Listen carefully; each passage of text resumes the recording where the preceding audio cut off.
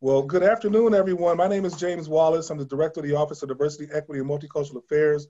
Welcome. Thank you for joining us for this um, timely conversation. Uh, before we get started, I'd like to introduce the Chancellor of our institution, Chancellor Ken Iwama, uh, and he'll get us started. Chancellor Iwama. Well, welcome everybody. Uh, I'm so happy and so excited to be here with you uh, today. Uh, anytime during a pandemic when you can reconnect with friends, uh, even through Zoom, uh, it is wonderful, if not life affirming. So th this is a wonderful day today. And today we are joined by two great friends uh, who are linked by the common bond of IU Northwest history. Uh, that would be Todd Deloney, IU Northwest alumnus, and Peggy Elliott, IU Northwest Chancellor Emerita. So two familiar faces to hopefully many people in the audience today. Uh, Martin Luther King Jr. Day, which we just observed um, on Monday, is a time to reflect upon Dr. King's inspirational legacy of advancing racial equity, social justice, equal opportunity, built upon the moral imperatives of love and empathy. It not only celebrates the great person and his great words, but most significantly, we celebrate Dr. King's actions, his lifetime of work. I stress this because I believe that the continuing social injustices which have been recently daylighted across our nation reflect one of the basic concepts of anti-racism, that combating racism and inequality is not passive, it must be active. Either you are actively working toward a solution or you are indeed left as part of the problem.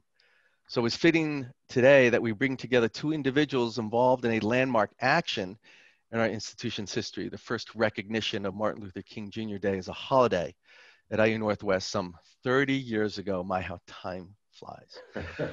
I remember reading about this part of IU Northwest history before I ever stepped foot on our campus, and I had asked uh, the recently retired Kathy Malone, our former Director of Executive Administration in the Chancellor's Office, to help facilitate my initial meetings with Todd uh, and Peggy, which she did, so thank you, Kathy. And thank you to James Wallace, Jerry Pat Gabbert, Marisa Villalobos, Aaron Pegores, Eric Botker, and the UWITS team, Amy Diaz, Candy Bushnell, and everyone else who assisted in bringing this event to our campus. Again, thank you for all coming here today, and I would like to now hand this over to our moderator, James Wallace, Director of the Office of Diversity, Equity, and Multicultural Affairs. Thank you, James. Thank you, Chancellor. Um, again, when I uh, first got into this position, I always wondered why um, our campus didn't do anything on MLK Day, not knowing that history. So I am delighted as well uh, to have two folks who were uh, instrumentally involved in bringing that to reality. Um, we have, again, Chancellor uh, Emerita Peggy Elliott Miller, was a proud IU alumna. And she served as chancellor of this campus, I believe, from 1983 to 1992. Is that correct, Chancellor? That's about right. Outstanding. Well, After 30 again. years, some things blur. but not that unforgettable time here on our campus, indeed. No, I loved it. And we also have, of course, Todd Deloney Sr., a 1992 graduate with a BA in Organizational Communications. And in 2013, he received a certificate in non-for-profit management. He was the president and founding member of the Black Student Union on our campus. Thank Welcome you. to Utah. Thank you. Thank you. It's a pleasure. It's a pleasure. So before we dig into the meat of the discussion, I wanted to kind of set the context for, you know, what was happening at the time and how did, what was the legislative history of that holiday? Um, the holiday was originally proposed by John Conyers, a Democrat from Michigan, and uh, U.S. Senator Edward Brooke, a Republican from Massachusetts.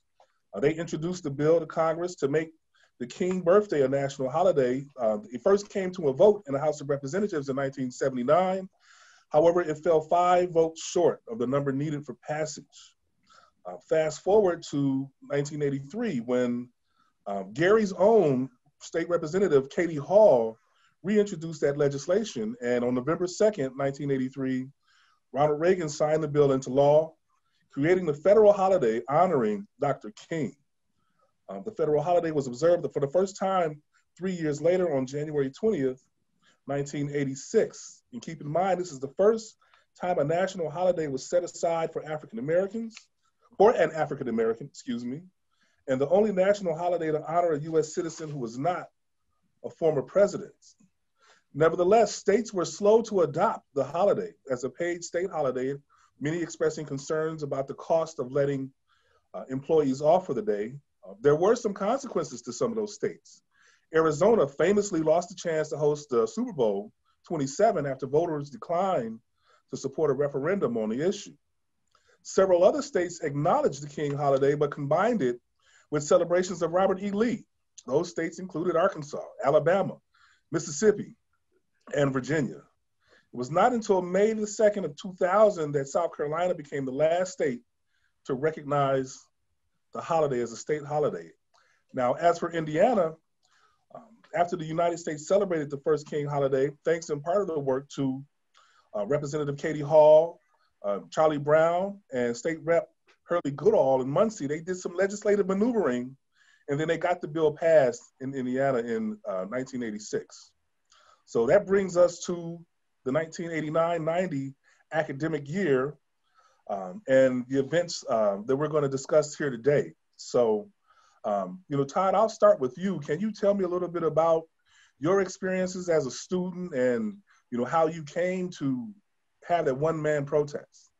Well, um, in terms of what was going on on campus, I remember a friend of mine he and I had a class. This was in 1983, Chancellor Elliott. The, the, that was my first semester here. And uh, he, he pulled me aside and told me that um, uh, I, I should chill out in asking Dr. Poulard so many questions and challenging Dr. Poulard, and you, you, that's going to result in a bad grade. And I was like, well, wait a minute, wait a minute. Aren't we here to learn? Yeah, yeah, yeah, but, but see, you know, you don't want to rub him the wrong way.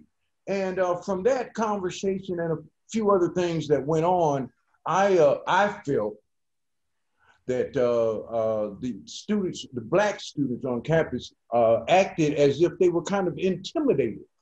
Um, and uh, as I went to school in East Chicago, see, I, I, East Chicago school was mixed. Okay, it was blacks, whites, and Mexicans, and, and Hispanics. I'm sorry, uh, were on our campus, but but mostly on the uh, IUN's campus, most of the blacks were from the city of Gary, and uh, they had not interacted with the different races. So I'm, I'm, you know, I had that feeling that uh, they were kind of uh, uh, in my opinion, kind of uh, intimidated. And uh, that's what uh, led me to uh, join the, uh, at that time, it was the, um, the uh, Minority Planning Committee. Well, um, that first year, 84, we were supposed to have a, um, a Black History Month celebration, and we had a little something, something. But excuse me, come 85, I spoke with the uh, powers that be and some friends that were part of this group. And I told them that, well, wait a minute, let's change the name and call it what it is. It's a Black Student Union. That's, it, it was com- comprised mainly of Blacks. We were the only ones in there. And so, what was it that was holding uh, us back from saying this is a Black Student Union? And so, uh, after after being uh, being uh, winning the elections uh, for president, I um, closed the election portion of the meeting and put on the floor that uh, uh, we call this our organization the IUN Indiana University Northwest Black Student Union, and uh, and that was in 1985, and that's how it all began. Okay, so um, you know, what kind of support did you get from the administration uh, when you said, "Oh, we're going to have a Black Student Union on this campus"? And Chancellor Elliott, you can chime in here as well with your thoughts and reflections of that time. Well, I was really quite pleased because I didn't think we had as many minority students as we really needed. And I always worried that we were missing part of the market. And I, uh, I worked with many of the churches uh, and said, "Can what can we do? Can we sponsor free ACT coaching or SAT coaching classes? What can we do? Let's we we need to take this seriously." Uh, some people took me seriously and some people didn't, just as you remember, Todd. Yeah. And and And the same was true with our Hispanic population, which was teeny tiny in those days. So uh, I started trying to make some friends in East Chicago, where the majority of that population was, to see if we could. Um, I guess I, I guess we had more success with with my Gary friends that I did there, but eventually one of the Gaynor scholars was a Hispanic girl. I was so excited and thrilled. And uh, I remember her dad coming to me afterwards and saying, This is the reason I swam the river. And I cried. But it, she was, she's a wonderful MD today and all that kind of thing. So anyway, we, we had we had kind of a struggle, but um, it, it, when it was time to have Martin Luther King Day as a, as a student holiday, Todd, you were involved. I believe you're the first one that that I thought could would back me up on it because I hadn't been very successful so far. So, do you want to tell that part? Well, you know what, Chancellor Elliott, uh, uh, let me let me point this out to you in particular. You were a dream come true because oh all of all, a dream. all, all of the uh, notions that I had for the Black Student Union, uh, you were right in, in, in okay, go ahead, go ahead, go ahead. Now, uh, you asked how uh, what how much support we had.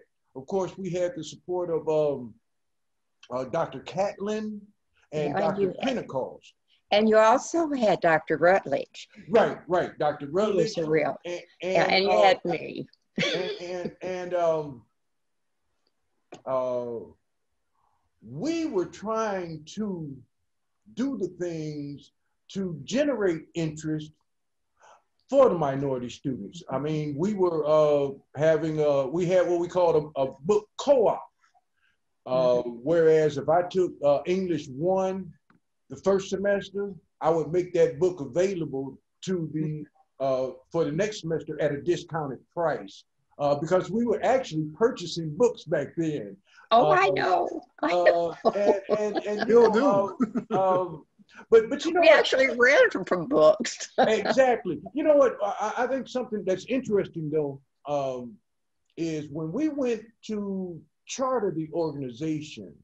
Uh, there was uh, I don't I don't don't want to mention names, but there were three uh, Caucasian uh, professors, and uh, they were asking me, well, why do you have to call it Black Student Union and Black Student? And and you know I, I felt that. Uh, you wanted were, an identity for crying out loud. Exactly. I, I felt that they were uncomfortable with the with the name of the organization, and so uh, back then uh, I was I was a young buck at that time now, and I was just all right. We were all pretty young at that time, and and there were some real champions on. You had you had friends. You just they'd ask questions. They'd ask questions, uh, and I would sit there. Four hundred years. well, how long did you? Why should you do this and that? Four hundred years. Well, what color is the sky? 400 years. You know, I mean, whatever question they asked me, all I was saying was 400 years, 400 oh, years, Lord. 400 years. So let me. Step, you let shouldn't tell me all of that because I could have caused what Congressman Lewis would have caused some good trouble. so, so let me step in here, uh, Todd. Um, you know, you established the BSU, you know, to provide support for for Black students on campus you know, were there any, you know, other causes beyond 400 years that you wanted to express to the community? Or was there anything else going on? How, what, you know, certainly I had shared the history of the King holiday, but, you know, mm-hmm, what else was mm-hmm, happening mm-hmm. on campus that but you all were concerned about? There were some things happening in the community that, that the university was very involved in that I'm not sure Todd would have known about at that time. At the time of the March on Washington, uh, Bishop Grutka, who was the Catholic bishop then, now God rest his soul, uh, and a group of bankers and businessmen and Reverend uh, Lowry and many others uh, got together. I think I think, I think Mr. Bennett at the NAACP and mm-hmm. Miss Gentry at the Urban League. Anyway, they got a bus full of people from Gary, and they all went right. to the to the what march. And when they came back, they decided that they needed a way to address things like this. See, Todd, if you'd known about the cadre then, they right. would have been, well, they were there later on, but because I knew about it. But mm-hmm. uh, they came back and decided they'd just be a group and that if anything was going on that shouldn't be going on or wasn't going on that should be going on, they'd get together and see what they could do about it because they weren't going to just come back and, and ignore anything. So uh, if something was out there that needed to be known about or done about. One of the cadre members would call me, and because we were the only one that had a place you could eat in a room big enough for a lunch, I would buy lunch and we would we would get to work. And the first one I was involved in is this too much to tell about it, but it does fit all together. Was uh, one really awful winter, and it was a time when when there were so many layoffs at all the mills and all the oil plants and it, it was a it was a tough time and Todd you may have remembered that but mm-hmm. it was a really tough time uh, and the winter was going to be brutal and so one of the cadre called and we got together and we decided we weren't going to let any children in in Gary it was just Gary then starve we were going to find a way to keep those food pantries filled. So mm-hmm. we had everybody and his brother in on trying to figure out how it was best way to make money and a lot of it. Mm-hmm. And so what we came up with was we had a now I'll tell you later some of the people that helped this really helped with this. We had we got the Genesis Center and we were had advertised a concert, Whitney Houston, and then uh, we we brought Sweetness over too, and he was going to sign autographs for us. So with all we talked, we went out and we asked for money and help from our friends and our friends' friends and uh, strangers and our kin folks and and any of the people that we thought were really going to be supportive. And truth be told, we did finally, the cadre did finally pull off that concert and we made enough money that the food banks, uh, pantries were all taken mm-hmm. care of that winter. But that was the sort of things we did. And then we just dissolved till something else came up. Mm-hmm. And my next something else that came up was uh, uh, getting Martin Luther King Day as a holiday for our campus. So that's kind of a little background. And see if you note about them, I could go had them come in again. that's awesome, Chancellor Elliott. And it's really a demonstration of IU's long-term commitment to the city and and, oh, yeah. and that connection, that community engagement that's so vital. That's so vital. Right. And um, and it was a network. Uh, there were bankers and pastors and just people like me and anybody we could catch sort of who would, would, was committed and the bishop was there and i remember one time when I was not sure I could get all three of the mayors to agree on something. the okay. bishop said, Don't worry about it. If they're good Catholic boys, I'll speak to them about their souls. so we didn't have any more trouble after that. ah, that's awesome. Awesome. So I want to move, I want to move the story forward just a little bit because you know, Todd, you established the BSU. The city of Gary acknowledged the holiday uh, that was in 86 and then 87, um, you know, you had some challenges that um, sort of changed your life. Can you talk a little bit about that and what that meant for you when you, um, you know, as your story continues? Sure. Well, once again, as, as repre- the late Representative Lewis would have said, I got myself in some big, good trouble. I've never been sorry. Uh, I went to the we did not have the power. The IU system in Purdue, none of them gave Martin Luther King Day as a holiday. And I went to, although our Katie had carried it for us, and we all felt, we all sort of felt like that we somehow he was part of us because Reverend James and Reverend Lowry and all these people yeah. knew him. And I may be incorrect because 30 years is a long time when you're as old as I am, but I believe Reverend James was on the Edmund Pettus Pettit Bridge with King. I'm pretty Mhm. Yeah, sure he of was, that. he was, he was. And so we all felt close, and and we did have some of the King family at IUN several times over the years. But at any rate, I went in. I I knew it was not going to be an easy sell because I had to get it through the whole system. And none of the systems were giving the day. And so I had few friends around. Todd was one of them, cheerleaders, and, and I still had the cadre. And and uh, so I I went to first I had to go through the chancellors, and the chancellors were not very excited about it. Nobody said it was a bad idea, but they they had other priorities for their campus and they didn't want to trade off anything from my one campus to get the day. And so we went round and round and round and then that then the big stumbling block came.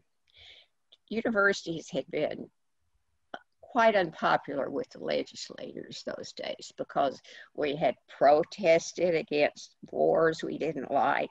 We had protested against racism. We had protested against uh, civil right, unequal civil rights. You know, once somebody said to me, "You people protest an apostrophe," I said, "Bring me one, and we'll see."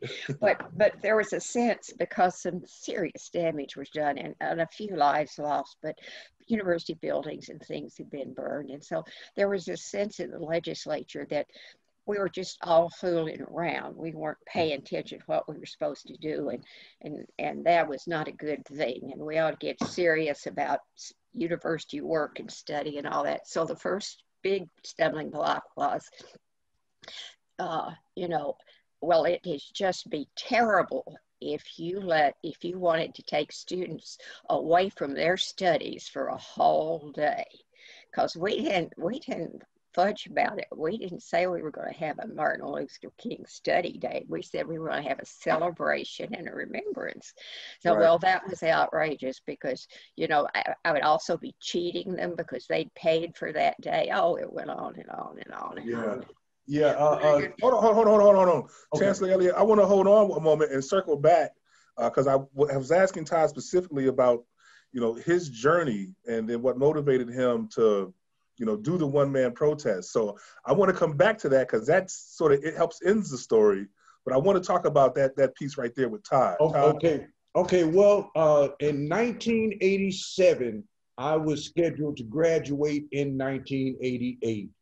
Uh, that was that was the year that uh, Reverend Jackson was running for the presidency, and I, I recall that uh, um, Mayor Hatcher called me at my house and asked me to uh, if I could set something up so he can come on campus. So uh, we worked that out through Chancellor uh, through uh, uh, Chancellor Elliott and Vice Chancellor Cope. So now I'm I'm co- coasting now. I, I've gotten a, a, a I've uh, hosted a presidential candidate. The BSU is rolling. We got an award. I, I'm on top of the world now because I'm about to graduate, right? And then in in uh, on September the 27th, 1987, I suffered a near fatal stroke. I had uh, uh, my speech was impaired. I had paralysis. My memory was totally wiped out. Uh, I remember uh, stumbling on campus, trying to find my way back to the person that I was prior to the stroke. And um, uh, Patricia Grady, Patricia Grady, she was over the hill. She would have helped. She was over the uh, Career Beginnings program. Yes, she worked with Dr. Rutledge when we got and, that funded. and um, she asked me, she said, Todd, when are you coming back to work? And I'm like, what? Coming back to work? When you come back to work? I can't, can't you see? I'm, I'm- I can't do nothing. Yeah, No, the, the students need you. The students want you. And so I came back to work and I had uh, had to enroll in classes, re-enroll in classes in 1988. I knew I didn't know anything, but I'm, I was big, I was a stubborn uh, uh, strong will type of brother.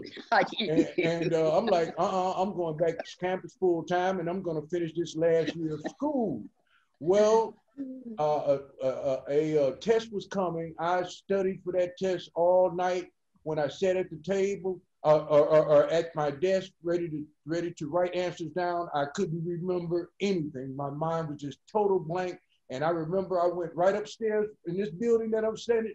Actually, actually, it was right down the hall from this building, from this seat. And I cried like a baby, man, because uh, uh, I couldn't know, I didn't know anything. I couldn't do anything. Um, and uh, uh, I was determined, uh, regardless of whatever limitations that I had going on, I told myself, you're to get this degree. You're going to get this because that's, you know, and, and see, I would have, I was the first in my family to ever have received a college degree. And uh, part of, excuse me, part of that motivation was the fact that I was working with uh, uh, high school kids, career beginnings, and, and I'm sitting here telling them to come on, do hard, work hard, get it done. You can get it done, you, regardless of what obstacles. Chancellor Elliott, I used to use you as an example. I tell the kids while I'm standing in front of the uh, audience, I tell the kids, look here, if Chancellor Elliott was standing right behind you guys, and she would say, "Here, Todd, walk, get through, get past all these kids, and you get this degree." I tell the tell tell the tell the students, I say, "I'm sorry, I love you. You my friend. I love everybody, but I would do the, anything to get through to you guys to earn that degree." And uh, you know that that that uh, uh, uh motivated me. Uh, uh, I because because I had to develop uh, uh, motivation tactics, you know, just to keep me going. I mean, I was like to, I remember on February the 15th, 1988, I could finally brush the waves in my hair, man. And my hair, you know, I had I had a hairdo that was going on. You had fuzzy hair. and, and, and, so, you know, uh, uh, uh, I I um, uh, those those were some dark times. Yes, they were. You know, being being uh, being fully honest. They, they were dark times. Because uh, uh, uh, there. But you made it. That's. I couldn't. I couldn't accept myself not having earned that degree. On the one hand, and on the other hand, I didn't know how the hell I was gonna make it uh, because it was, you know, just that type of vibe. And uh, I want to. I, I can't call her name right now well, I'll bet Barbara Cope was the there's this, there's this one. She no, she was a Spanish professor. Oh, that. And she, and she would uh, my last year. She she would allow me to go into her office and take the exams because at that, yes. at that point oh, I yes. test anxiety. I'd sit there, Brother Wallace, call myself doing the oh. test, and I look up, everybody walking out the door, and I ain't even wrote the first answer yet. Like, yeah, uh, she was wonderful. She was the head of the modern language yeah, but, but she, for a long she allowed, time. She allowed me to uh, uh, uh, finish that second year Spanish, and uh, you know that that was the, the rest is history. Well, Todd, you know, overcoming those obstacles, you know, was really important. But um, you know, and I, I appreciate you sharing that because you didn't have to uh, with the audience, and then certainly students that are on the line can, you know, take note of that because this is not easy. Oh no, it's not an easy task. So you you managed to recover enough to continue your studies, mm-hmm. and then what led you to the one man protest? What what? Well, you know, uh, at that time, I was also a member of the Ecumenical Committee of Northwest Indiana, of which Chancellor Elliott was a member as well. And we're talking about an organization with uh, Reverend James, uh, Reverend uh, uh, uh Mr.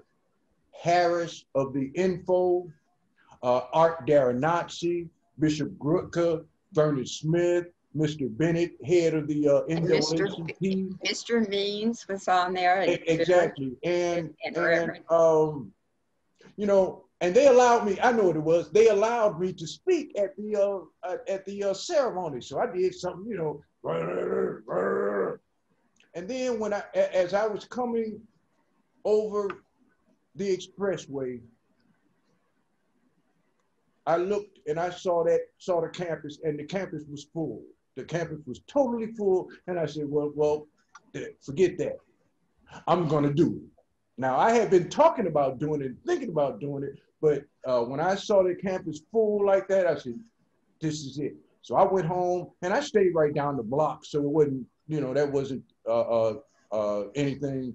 But I remember putting on a sandwich board sign uh, in the front, do the right thing, pay tribute to Dr. Martin Luther King, and I forget what it says on the back. But uh, anyway, as I was walking down down uh, Adams Street, it, it's fortunate that I ran across um, Miss Barbara Cope because she was my supervisor and she was over the Career Beginnings program. Now, I I was not president of the BSU at that time, the first time, and so I thought to ask Chancellor, uh, uh, not Chancellor Elliott, but uh, Miss Miss Barbara Cope whether or not I would uh, shine a, a, negative light on the Career Beginnings program. She told me that I wouldn't. So, and I, I, I went out there and started walking, and and and and and uh, I can tell you those first couple steps were hard. It was like it was like it was. Lord help me. I was trying to get my groove back. Okay, I was trying to get my groove back, and I'm walking and walking. Okay, yeah, this feels good. Okay, now we're rolling. Now we're rolling. Now we're rolling. And uh, so also uh, after about an hour, I guess the uh, started to see me and notice me, and they honking and whatnot. And then on the northwest end of the campus, right by the uh, between the um, golf course, that was when I heard something come whistling by me. What, what, what, what, the heck was that? Then so the next time I'm coming around, there's something else. Some, and I'm looking and there's some rocks or something. Wait a minute. So then uh, the next time around, there were there was some some guys in the car telling nigga go home, go home, go home, and all of this and that. And so, like I said, they I didn't lived, go to IUN. I lived right down the street. I lived, and see, nobody knew that I lived right down the street. And, I, and my boy Pete, my boy Pete, Scurvy Dog, I was going to tell him to come out here and watch my back. But then I thought about it and I realized that Pete wasn't a non-violent type of guy. Okay, so now if something happened to me, he'd start becoming yeah. violent, and I I knew that that would you know obviously that would take away from what I was trying to accomplish. Right. So uh, I had to let that go and whatnot, and uh, just continued on with the uh, demonstration. So so Todd, um, I have a question for you. Um, this first that was in 1990, right? Right, right. Okay, and my second question was that his nickname, Scurvy Dog? Yeah, yeah, that was yeah. I'm sorry, I'm sorry. I, I didn't. His, his real name is Levonis Talbert, and he took the pictures right of uh, of uh, our, our, our demonstration and whatnot uh, the, the the next year. But I'm sorry, I didn't I didn't mean throw that out there. Uh, it just slipped out. I know that's that's pretty gangster. yeah, and and, and and and and and may he rest in peace. Indeed, you know, indeed. And, and, add that. But uh, uh, yeah, I knew Scurvy Dog would have came out there and would have like, okay. right. What you know, and probably the rest of you don't remember that when I got Mrs. Cope appointed as vice chancellor, that she was the first woman of color to be exactly. a vice chancellor in the whole exactly. system. Like I'd been the first woman to be a mm. chancellor, and so yeah. that was wonderful. She was terrific. Yes, she was. Our campus is Still with us, but not well. That's awesome. I, I did not know that either, and uh, learning something new every day. I'm so glad we're having this conversation. Yeah, it's a good so, conversation. So the well, um, so that was the first year that you did right. that. You were out um, you know, by yourself. You started this this movement, and then and then what happened? You know, the following. Well, as I was walking, I was thinking that more than likely nobody knows what the heck I'm doing out here. Okay, but I just kept walking. So so I started to think, now what can I do to maintain the momentum of the movement? So I'm walking, still walking and whatnot, and um, uh, suddenly, suddenly it occurred to me that again, I wasn't I wasn't the president of the BSU at that time. So I couldn't call a meeting and tell the troops and do all of this kind of stuff. So and, and living right down the street now,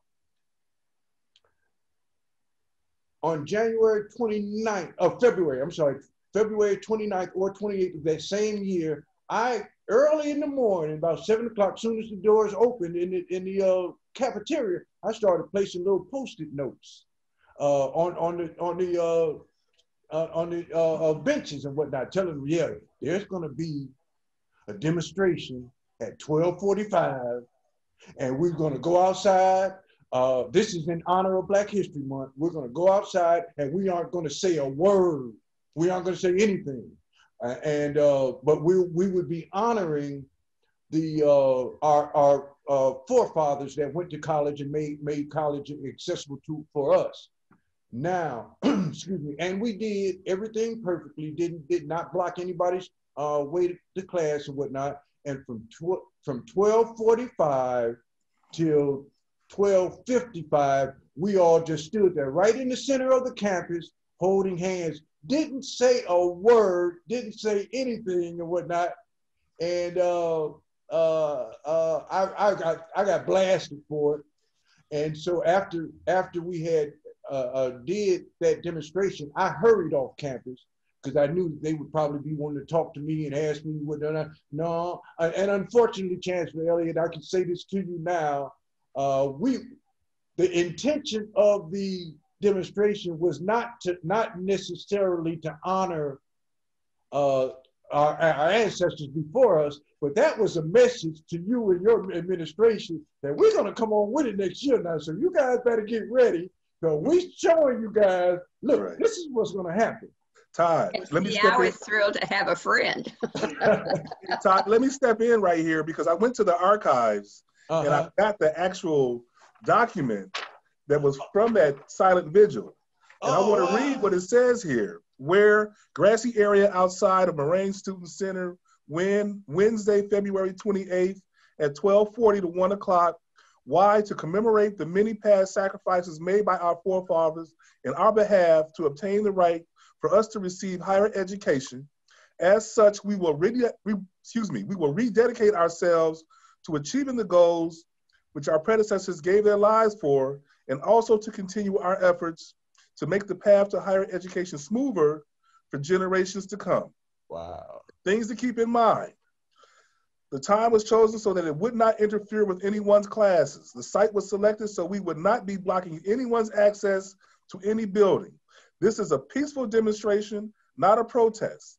Many people will be watching, students, faculty, staff, also the area newspapers. Let us carry ourselves with dignity and respect. Um, at 1256, we will join together in singing, lift every voice and sing our national anthem. We will gather in spite of the weather. What's 15 minutes? Yeah. you, uh, you beautifully know, done. You know what? I, to, to, to hear you read that, I didn't know that that was in, in, the, in the archives and whatnot, but to hear you read that, that's exactly what was going on. And again, nobody knew the real purpose was, as I said, Chancellor Elliott, and I, I apologize now, that that real effort was to, to, to say, okay, Chancellor Elliott, here we come. This is what we're going to do. So you guys get ready for it. And now uh, uh, to uh, continue on, if, if you don't mind. Please. Uh, when uh, that, in the school year of 90, 91, uh, I, part of the plan that I came up with after uh, from the walking was that I would become president of the Black Student Union again, which I did. And so I was the president again. So now I can officially call some meetings and do all this and that kind of stuff, right? Because I got, you know, because I got these people behind me. And uh, so what we did was we had a gentleman's agreement with other organizations on campus, uh, uh, basically saying that we will support your efforts and, and your issues as long as you support ours. And uh, we did, uh, because I went to a few uh, biology club meetings and several other members of you loved every several other members of the Black Student Union went to uh, other organization uh, meetings as well. Then uh, we had a we hosted the Black Student Union hosted the Halloween party at Ditka's that same year. Now, I have to tell you, I was not given a lot of information about that party, so I'm all ears. okay, so see, you know, the the uh, again, the objective was to uh, garner support from other student organizations. Now, uh, to be honest, the expectation was that you know we don't know, we doubt if you anybody's going to participate, but nevertheless we made the effort. So we made the effort. Now, then uh, I received, uh, or better yet, hold on. September, I sent a letter to the chancellor telling her that for the, the King Day 91, the Black Student Union is going to boycott. The Black Student Union is going to collect signatures, and the Black Student Union is going to come back on campus and rally on campus. Now, Chancellor Elliott and to my surprise, Chancellor Elliott said, oh, okay. She sent out a memo asking for the Black Student Union to meet with her. And uh, there were other uh, officials on uh, campus officials to meet as well, along with um, uh, Trustee uh, Icorn. And, yes, uh, she was really, he yeah, was really a good one. And, and we met, and they were um, trying to, you know, telling us that, well, um, you know, Dr. King would want us to be in class and and this and that or whatever, you know, and, and we took that under uh, under advisement. And then Icorn was one of our good friends. And then then the chancellor had her her her thing was like, well, why can't y'all just wait till Bloomington does something or whatnot? Well, at that time, my response was, we're the only campus who, who doing something, so we're gonna stay, we're gonna keep this vibe rolling. And then uh, the student government president said something that was very interesting, and she was critical. Uh, uh, I don't know if, uh, if you know I should say her name or whatnot, but she was critical, and she had said that she didn't want this movement to be to be a black versus white movement, and so uh, I was upset that she should have offered her a membership. and, and, and, and, and, and, you know what, Chancellor Elliott? That's exactly what I did because I sat down, I took 10 to, to get my breath back and said, well, okay, uh, uh, we, in the presence of Trustee Icorn, Chancellor Elliott, Ms. Barbara Cope, and all everybody involved, we cordially invite you to come join us in our protest demonstrations and and she uh, was true, and she said she would, and she was true to her word. If you look um, uh, on the uh, on the pictures we have, you'll see uh, she's standing right there uh, in front of the uh, library, and I'm grabbing her hand, holding her hand, and um, and uh, she's once we once we uh, finished the demonstration on campus, we was I was standing in front of Raintree Hall, and the, the students were standing, you know, cat a corner from me, and she was in the first. She was the first person in line. She was there. She stayed there, and, and she, you know, she did what she what she said she would do. So Todd, this was the second march. Right. 91 in 91. Okay. Right. So um, we've got 15 more minutes left, and I want to um, move us towards the conclusion. So after the second march, then I want to circle back to you, uh, Chancellor Elliott Miller. Um, you know, what happened next as far as getting the trustees to to sign off on this? What did that look like? Well, all the time that, that Todd had been involved, I've been working too without much success. But after I got past the chancellors, I had been an intern in uh, President Ryan's office. He was gone by then. And I had become very closely acquainted with, with Chancellor Wells. And so I went for them to advice because they what they said in the system usually went. And so they began to work with us too. And uh, we got past the fact that that uh, you know everybody didn't have to have the day. We wanted the day. We wanted it because we felt this connection with Dr. King, and so many of the people that we knew and supported us did too. And, you know, I, I was pushing, but I couldn't get around the uh, business about how I would be cheating the students out of a day of instruction and that the university students ought to get serious and quit protesting and all that kind of stuff. And then I came up with a plan. it was good trouble, but I got away with it. I changed the schedule for the next year so that we had one extra day of instruction. And that meant nobody could say I had taken away from the students. I never knew that. well, I didn't tell you, but I just did it. And then I the calendar, counted up the days.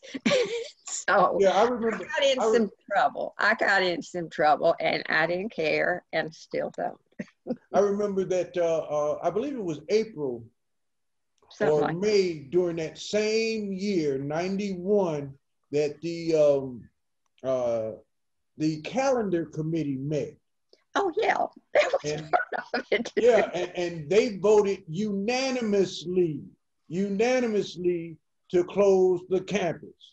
In mm-hmm. in, in, in 92 and close the campus and the campus would be effective in 1992 and it just it, the way they could they could defend it or i could defend it to them and to everybody else was i had covered it. Right right right now, I, um, I'm sorry. I'm sorry. Oh, go ahead. Go ahead. And wow. it just so, it, uh, I'm sorry, it, and it just so happens. Well, no, no, no. Go ahead, brother Wallace. I'm sorry. Well, I just wanted to step in there because just to make sure that you know we have a complete understanding. When I did my research, what I discovered, and I have all the old clippings here, and I'm just going to read this here. While there were campus celebrations for the holiday during the spring semester 1990-1991 that included Gary Mayor, Thomas Barnes, and others. By 92, the university decided it would leave it to the chancellors to determine if the campuses would close for the holiday. By 1997, the trustees voted to make it a university holiday. And in 1998, all the campuses were closed for the day. And that's what I was able we to closed ours in the beginning. Oh, okay.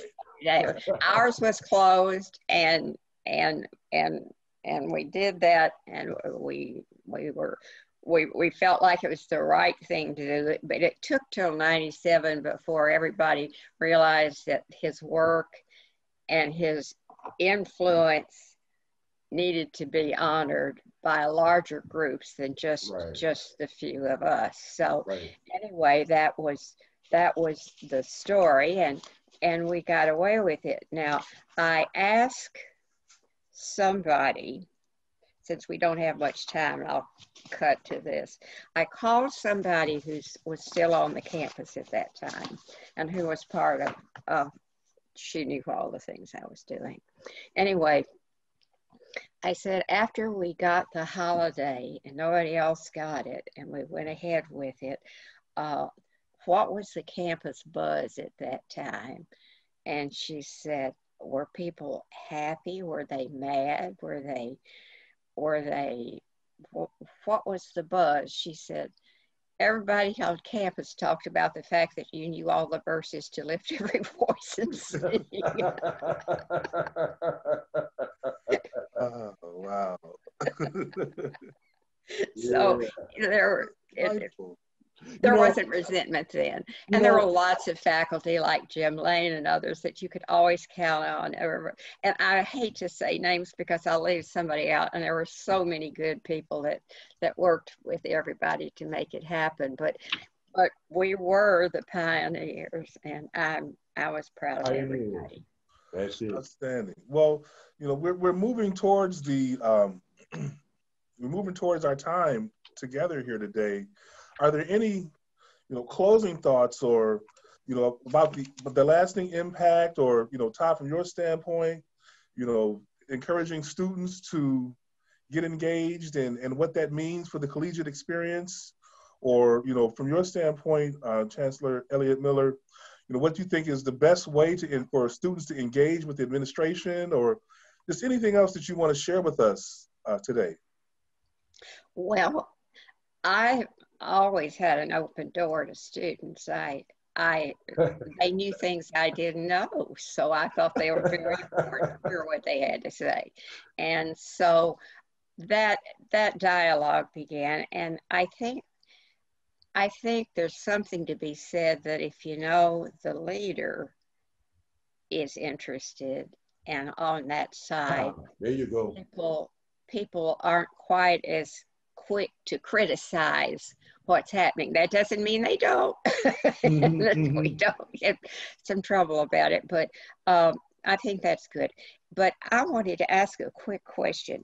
During this time, one of our other good friends was Vernon Smith, who started the IU Dons. Right, and right. I don't know exactly, I can't remember the dates in which that happened, but he was in the background helping too, as was Mayor Hatcher. And though some chancellors and Mayor Hatcher didn't get along. We were friends. Right, right. very helpful. And, and, and, and, Brother Wallace, this, you should have a uh, letter uh, written by Vernon Smith. I uh, sure that do. Was in the, that was in the collection. Chancellor Elliott, what had happened was that uh, in 2010, I was looking for information about the uh, protest okay. and the demonstration, and there was nothing in our archive nothing in the Calumet archives. So I got a, a collection of materials, and uh, Mr. Wallace is looking at those materials right now. Got so, it right here. Yes, yeah, got okay. it right here. We can say that there is there is a, uh, records about the march and, and all of that are, are stored in the uh, Calumet archives. Okay. Well, one of the things that I had uh, wondered about was that in an effort to tell more people about what was going on at IUN, uh, uh, our we decided to have a program. The TV station offered us free time every week if we put on a program. So uh, Terry Lucas came to me, he was Mr. Texan, mm-hmm. and said, I think I can put together a TV program if you'll do it.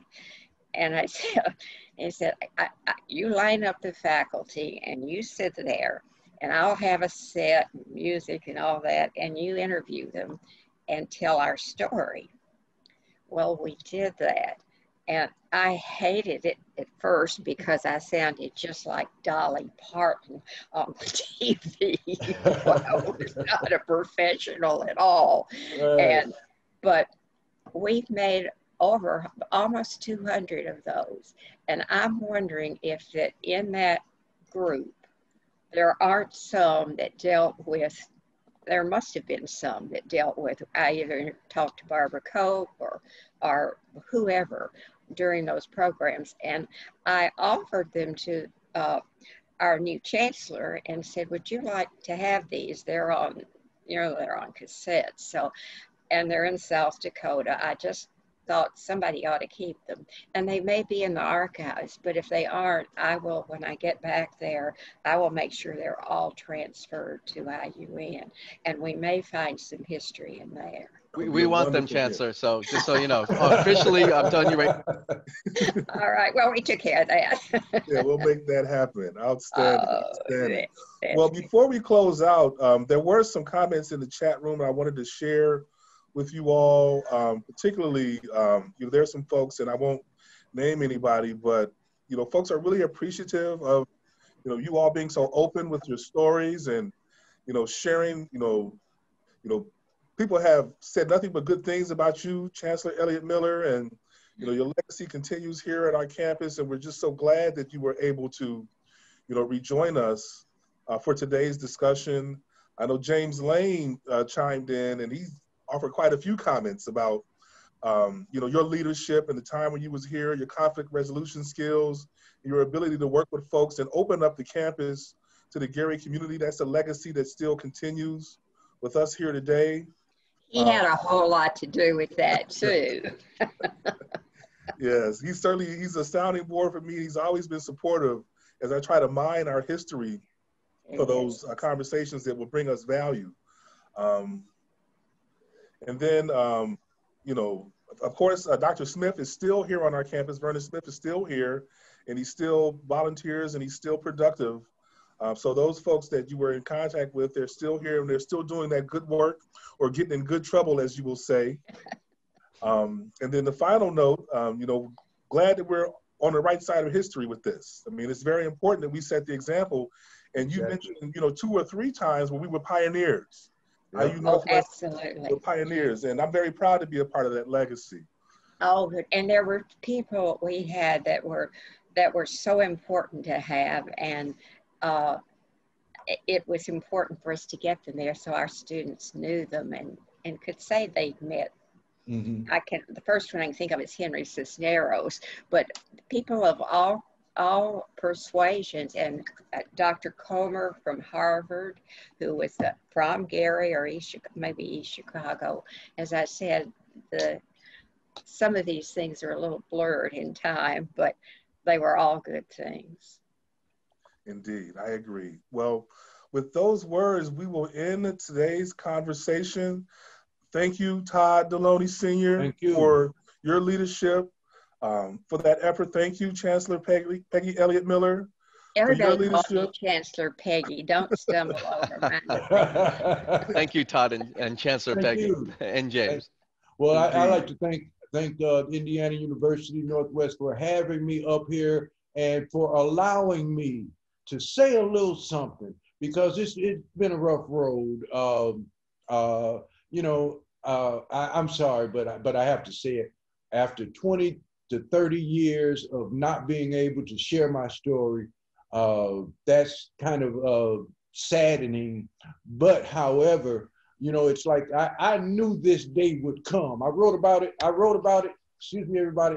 I wrote about it in this book, A Stroke of Genius and Great Expectations. And it talks about, in the later, later portions of this book, it says that someday someday Indiana University is going to thank me for starting these protests and whatnot. And I, I, I and and and I mean it from the bottom of my heart. Uh, now that day is coming. That day is here, and I, I want to thank you, uh, Chancellor, for getting in touch. It was my pleasure. And, and allowing me to come here and to uh, share share share my experiences. And uh, uh, uh, one other thing, one other thing, Sandman, my youngest son, Chancellor Elliott, is a graduate of Indiana University's uh, School of Law. He's now uh, clerking for a federal judge in Chicago. And go I you. You. Oh, I'm so proud. Next time I get in good trouble, I'll know where to go. Thank you. Anyway, Thank and Dr. Dr. Lane was an always an uh, an ally, and and we all at that time, most almost all of us shared the same vision that that we could do so much more. That's exactly. why I worked so hard to raise money. all right. Well, again, thank you, Chancellor. Um, you have a great afternoon. Thank you. And all of you, God bless and go IU. Go IU. Stay strong.